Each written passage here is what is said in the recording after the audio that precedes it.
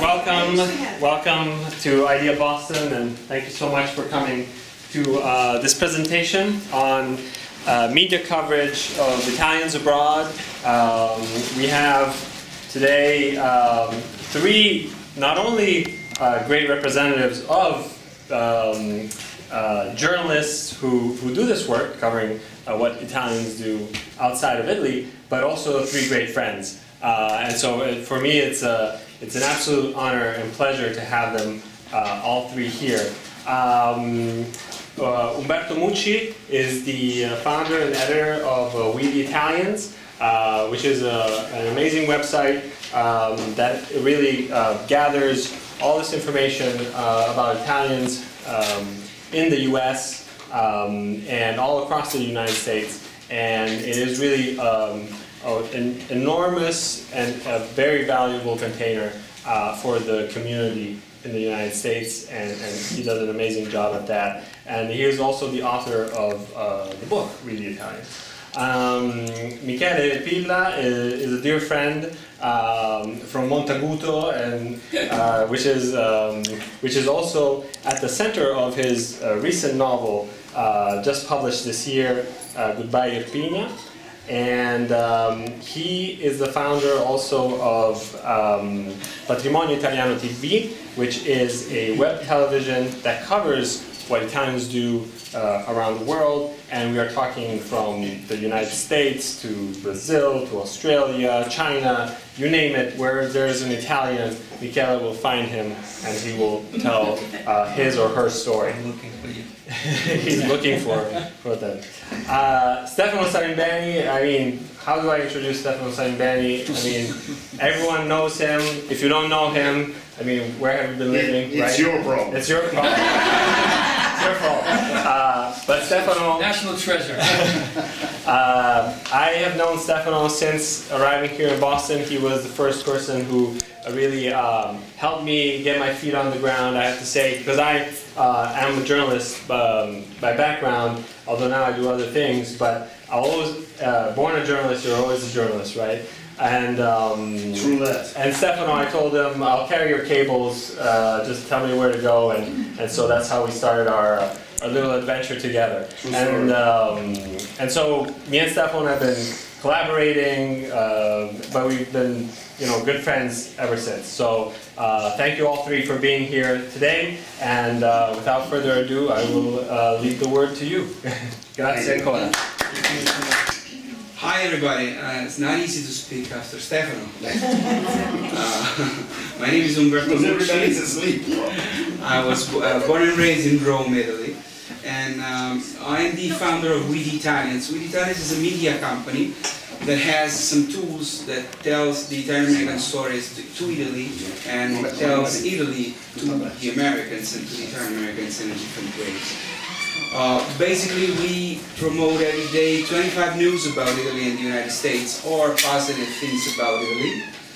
Um, we have a magazine monthly online for free that has 16 columns about the Italian excellencies. And let me tell you, by the way, that I don't think that there's any country that gives 16 excellencies every month and going on and on and on. We've published 120 issues of the magazine, so that's how Italy is amazing to me. We have a newsletter that goes to 100,000 Italian Americans uh, all over the country. Uh, we have 16 1,600 uh, websites regarding Italy in the United States from a non-commercial point of view, um, and listed in the in our archive. We divided the United States in nine areas, and so this would be New England, of course, and of course Dante Alighieri of, of Cambridge is among the, those 1,600.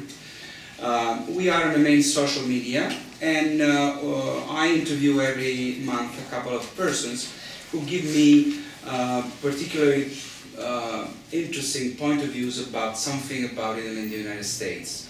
Art, culture, uh, commerce, um, whatever you, you, you think about when you think about the relationship between Italy and the United States, they're on topic. I've done 20, 100, uh, 220 uh, and it keeps going. Um, so this is We Italians, this is what I do. Um, and um, let me tell you, uh, what we're doing in Italy uh, right now is uh, trying to defend Columbus. Now, you all know what happens to Columbus here in the United States.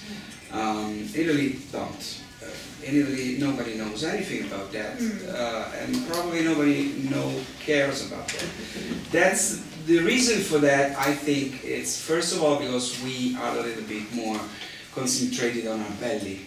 I'm talking about we in Italy, the Italians who live in Italy.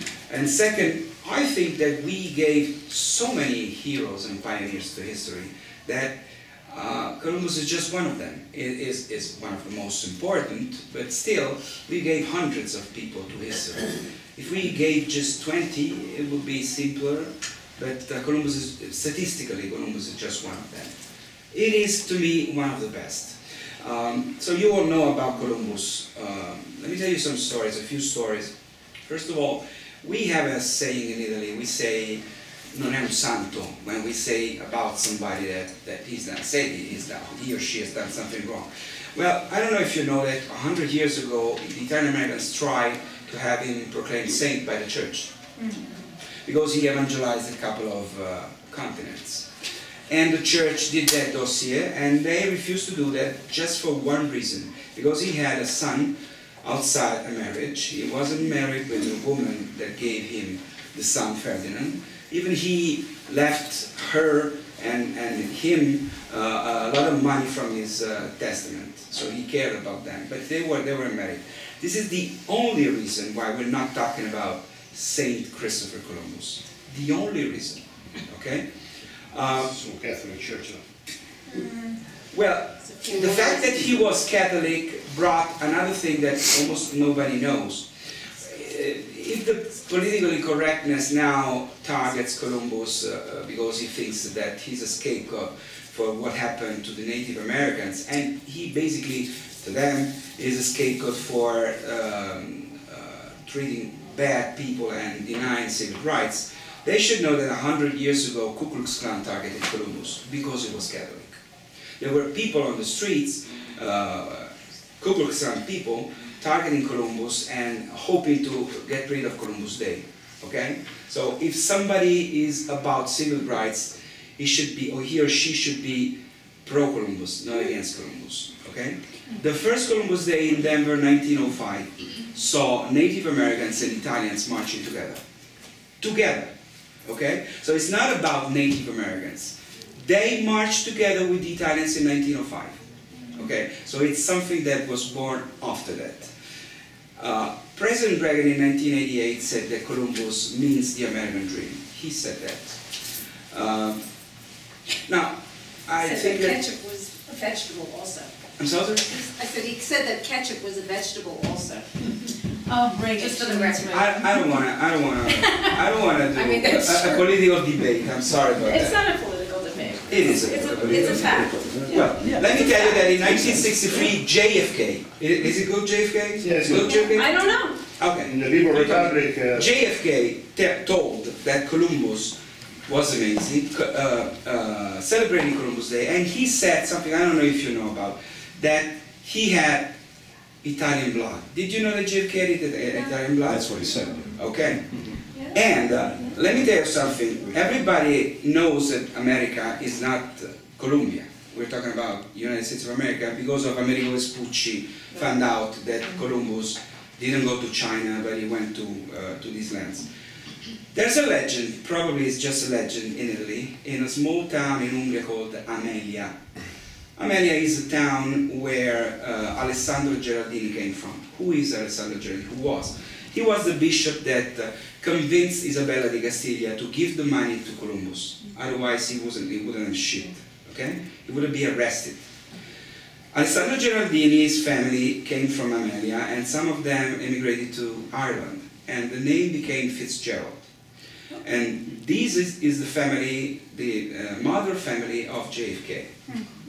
Now, uh, there's a legend which says that uh, as long as the, the, the street that brings to Amelia is called Via Amerina, America is called after that. Uh, probably It's it's just a legend. It's probably just a legend, I told you so. But, uh, but that's important because it says that uh, uh, respecting Columbus and respecting Geraldini who helped Columbus means something to everybody here in this, in this country.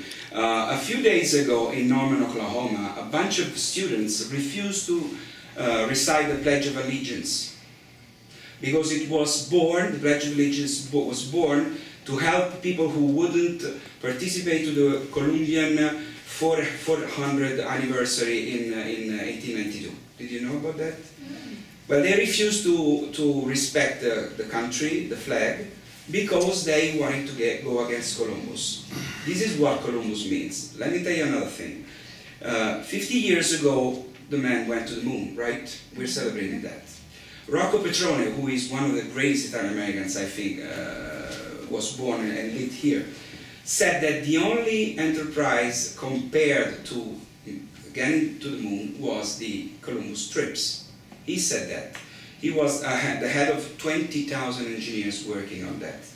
And when the, when was the astronauts were asked how to call the Apollo 11, because the Apollo 11 had a surname given by the astronauts, they said, we're going to call it Columbia. Right? So the astronauts, and not those who went to the moon, from the beginning, from Apollo 1, they said, the one Apollo which will bring us to the moon, that we're going to call it Columbia. Not the second, not the third, but that one, okay? And by the way, Columbus is the name of the Italian module on the International Space Station right now. I could go on and on and on. I don't want to speak about Columbus. Everybody's got his own uh, or her own uh, opinion. But let me tell you something. I don't know if I can say that I'm pissed off. Sure. I'm sorry if, if it's, it's not appropriate. I'm pissed off when I hear people living here in the United States saying that hurting Columbus means not hurting the Italian Americans. Everybody is entitled in, in his or her own opinion, but not hypocrisy. Uh, have you seen the Columbus parades all over the country? Have you seen that every or almost every group of Italians who are firefighters or lawyers or whatever they are uh, who get together call themselves Colombian? Do you know that 100 years ago the first uh, record company that brought Italian music to the United States in New Orleans were called Colombian Records? I could go on and on. So Colombian is Italian Americans. If somebody is against Columbus, that's okay, but he or she should know that he's against Italian Americans too. Then it's up to. I, I can respect that, but I don't respect hypocrisy. That's what I think. Uh, so what we do, and, and I'm, I'm sorry if I'm too long, uh, we've done a Columbus Day in Italy, the first Columbus Day in Italy ever. This year, October 12 in Siena, Tuscany. Why October 12? Because we discovered something that nobody knew before. Since 2004, Italy has its own Columbus Day, October 12, proclaimed by the government. It's on We the Italians, the proclamation. And nobody knew that, nobody did anything about that. So we did the Columbus Day in Italy, in Siena. It was a small event, a trial. We will do better in 2020, but what we want to do is wanna, we want to back up the Italian Americans who are fighting against these vicious hate, eh, hate crimes. Uh, and we will do it in Italy because otherwise nobody do it. Now, I don't want to have uh, take credit that I don't have, but on October 11, we did a press conference at the House of Deputies in, in Rome, and we asked President Mattarella, who would come to, to the United States a couple of days after, to please tell President Trump to fight for Columbus Day. Now, I don't know if he did it. I don't know that President Mattarella knew about that because I spoke personally with his consular, uh, diplomatic counselor, but the fact is that President Trump said that Columbus Day is not going away, uh, and at, at, at least as he is in the White House, which is a, a good result to me, not because I like or dislike Trump, I don't want to talk about politics, but because the President of the United States was pro-Columbus. Uh, so I, I, don't, I don't know if that was something done by us. I don't mean to interrupt, but would you mention how it started? There was an article about this even. I was amazed in the Wall Street Journal mentioning it. Or what? It's for Columbus Day, Columbus Day. Co- Columbus Day, yeah, uh, uh, it started uh, in, in, in I think 1792, Uh, it became a federal holiday with President Roosevelt. Uh, it became, uh, sorry, not 1792, 18, 1892, after the lynching of 11 Sicilians in